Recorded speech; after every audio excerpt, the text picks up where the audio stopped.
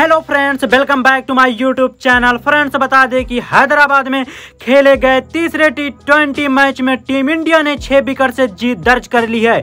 इसी के साथ भारत ने ऑस्ट्रेलिया को तीन मैचों की टी ट्वेंटी सीरीज़ में दो एक से हरा दी है। तीसरे मैच में भारत को जीत के लिए एक सौ सतासी रनों का लक्ष्य मिला था, जिसे टीम इंडिया ने चार विकेट खोकर हासिल कर लिया है। ऑस्ट्रेलिया की ओर से इस मैच में टीम डेविड ने सिर्फ़ 27 बॉल में चौवन रनों की पारी खेली थी जिसमें चार छक्के शामिल रहे। उनके अलावा कैमरून ग्रीन ने सिर्फ़ 21 बॉल में बावन रनों की पारी खेली थी।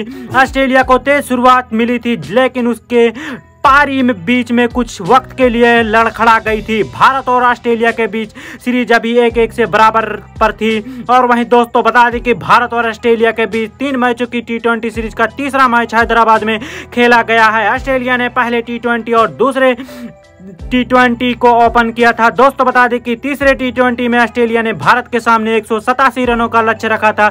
जवाब में भारतीय टीम इंडिया ने उन्नीस पॉइंट पाँच ओवर में चार विकेट गंवाकर लक्ष्य हासिल कर लिया है। इसी के साथ भारत ने ऑस्ट्रेलिया को छह विकेट से हराया है। भारत ने तीसरे टी ट्वेंटी में ऑस्ट्रेलिया को छह विकेट से हरा दिया है। रोमांचक मुकाबले में भारत को आखिरी ओवर में ग्यारह रनों की ज़रूरत थी। तब विराट कोहली और हार्दिक पांड्या क्रीज पर थे। डेनियल सैम्स गेंदबाजी कर रहे थे। पहली गेंद पर कोहली ने छक्का लगाया था। हालाँकि इसी अगली गेंद की हिम पर ही कोहली फेंच के कैच में हाथ थमा बैठे थे। तीसरी गेंद पर दिनेश कार्तिक ने एक रन लिया।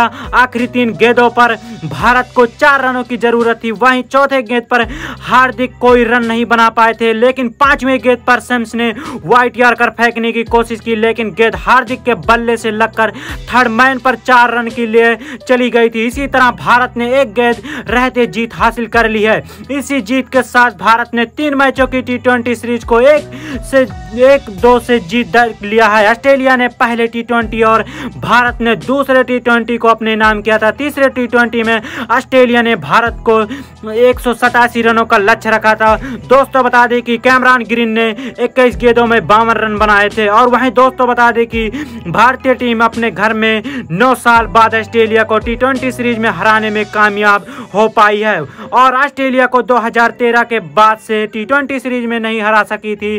2007 और 2013 में उसने एक एक मैचों की सीरीज़ को अपने नाम किया था। अब टीम इंडिया 9 साल में पहली बार कंगारुओं को अपने घर में सीरीज़ हराने में सफल रही है। 2017-18 में सीरीज़ एक एक से बराबर छूटी थी। तो 2018-19 में ऑस्ट्रेलिया ने दो एक से जीत हासिल की थी। लेकिन वहीं दोस्तों बता दें कि साल 2022 में ऑस्ट्रेलिया के सामने भारत ने सीरीज़ जीत दर्ज कर ली है। दोस्तों, वीडियो को लाइक, शेयर, सब्सक्राइब ज़रूर करें। Thanks for watching.